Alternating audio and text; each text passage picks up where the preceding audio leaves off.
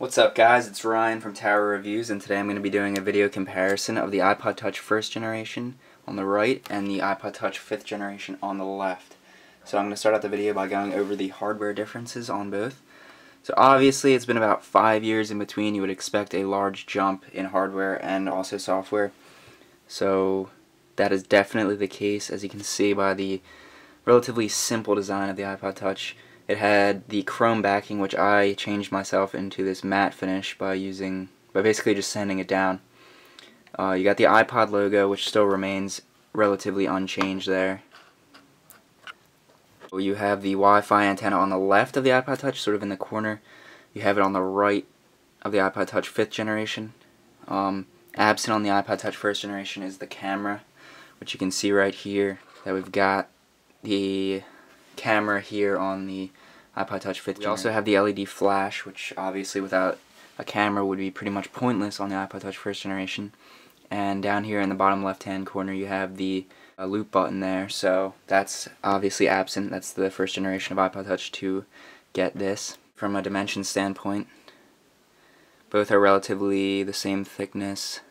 The iPod Touch is, the iPod Touch first generation is a little bit thicker. It's definitely a lot heavier as well. And then the length and width and or the length and height are different as well as the iPod Touch first generation has a 3.5 inch screen.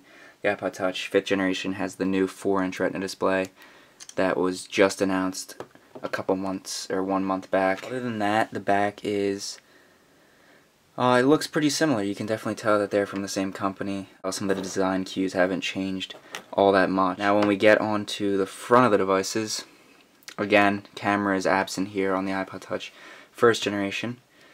Um, a very simple device here, not much to offer, and yet it still costs $100 more for 16 gigabytes of storage, which is 16 gigabytes less than the iPod Touch 5th generation. I also want to mention that on the sides of the devices, we have nothing on the right side of each of the devices, but on the left side of the 5th gen, it's kind of hard to see because it's the same color, but there you can see that it has two volume rockers up and down. They're separate buttons. And here, as the iPod Touch first generation does not have external speakers, it has no volume rocker. And you can see there on the bottom that you have the 30 pin dock connector, the 3.5 millimeter headphone jack, and no speaker grill. You have the lightning connector, which is also a new feature of the iPods in this generation. 3.5 millimeter headphone jack and five holes for the speaker. So now we're going to go into the software, which is also very different because all the old iPod Touches except for the fourth generation do not even get the newest software. Let's make sure that the brightness is the same for now, just so you can get a accurate reading on the difference in the display quality.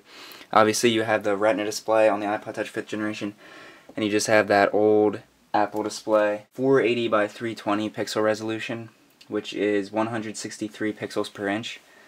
And then over here on the iPod Touch 5th generation, we have the pixel density of 326 pixels per inch at 1136 by 640 resolution. So there obviously is a large difference.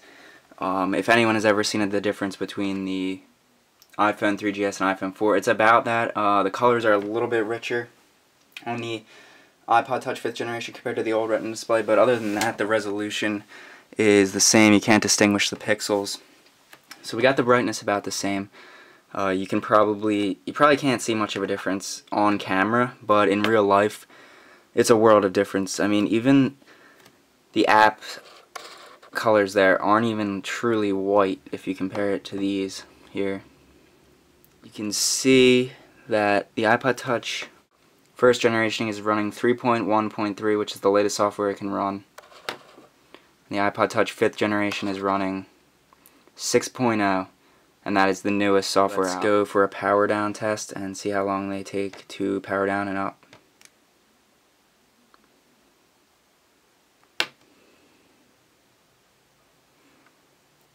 Okay, so the iPod Touch 5th gen is down, the first gen is down. Not much of a difference there. Now let's go for the power up. Also, the lock button has switch sides. Uh, used to be on the left side with the first gen, and now it is on the right side with the 5th gen. Alright, so there we go. We got them powering up, and let's see how long that takes. You can also tell here just how much richer the blacks are on the white iPod Touch, or the uh, iPod Touch 5th generation. You can see like a bluish tint to the first generation.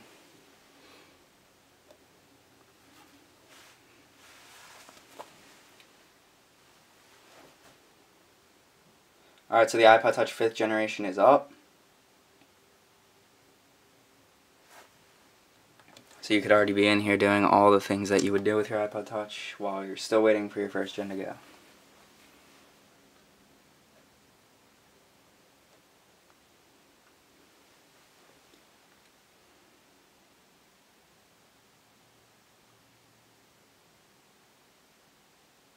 So there we go.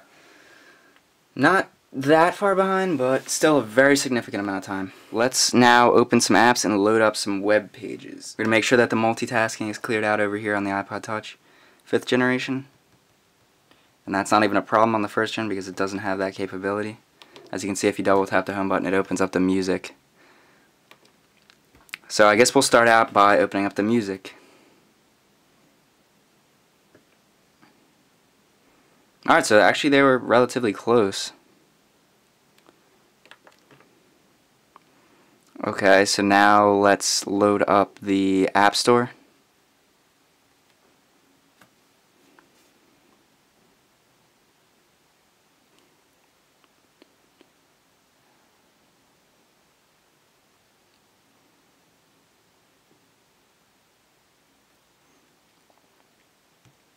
Okay, so the iPod Touch first generation cannot connect to the store. I'm not sure if I haven't used this iPod in a while, so I'm not sure if that's because of the software version that it doesn't even allow it to access the App Store anymore. Because I am connected to my Wi-Fi, so I'm not sure about that. I'm hoping everything else still works. Okay, so let's clear history. Clear cookies, clear cache and data, or cookies and data and clear cache. Alright, so let's first start out by going to youtube.com slash tower reviews. Alright, one, two, three. So the fifth gen is done.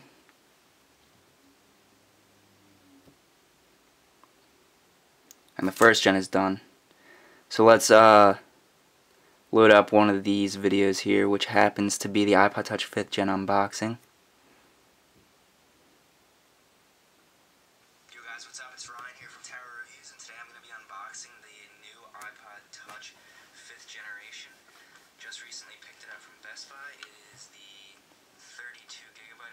Alright, so now they're both loading, and obviously you can't hear what's going on on the first gen because it has no speakers. Let's turn it sideways and see how that looks.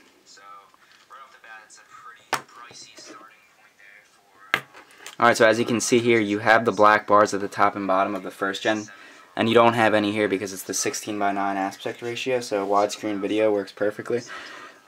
So that's another thing to consider. Alright, so let's go home on both of them.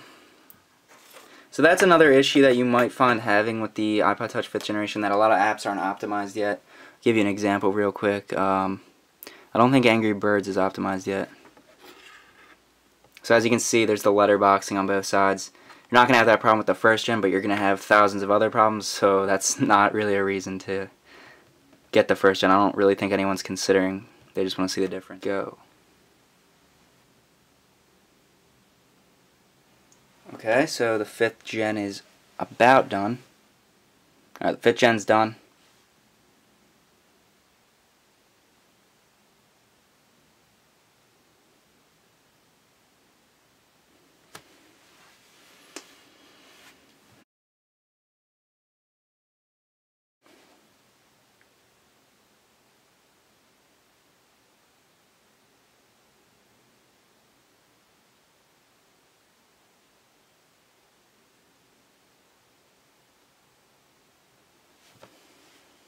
Still going.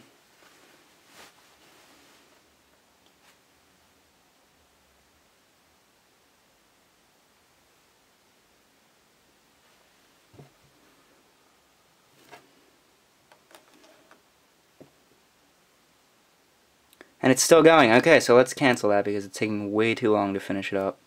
Uh, let's just scroll around the page and see how that is. much choppier here on the first gen. It's unresponsive. Never a problem over here on the fifth gen.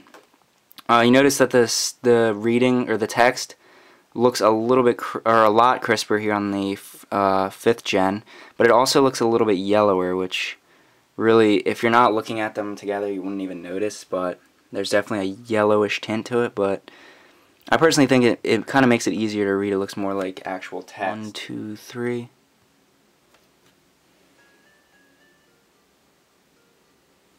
Okay, so there goes the grass on the 5th gen.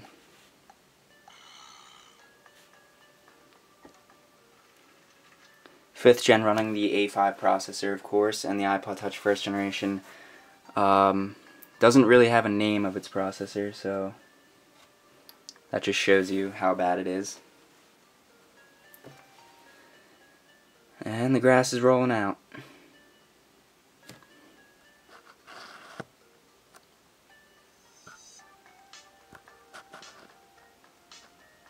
Still going.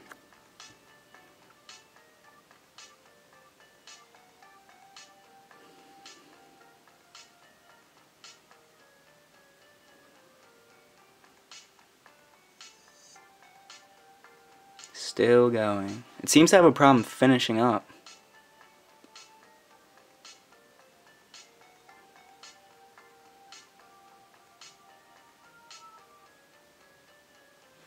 Come on, buddy, you can do it.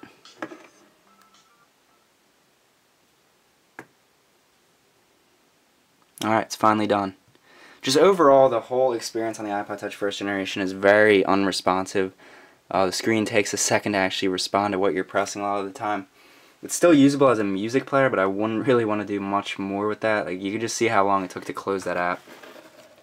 So, all in all, you can see how far Apple has really come in their iPod Touch lineup. Uh, just from a hardware standpoint, how the software works with that hardware, really, they really have come a long way.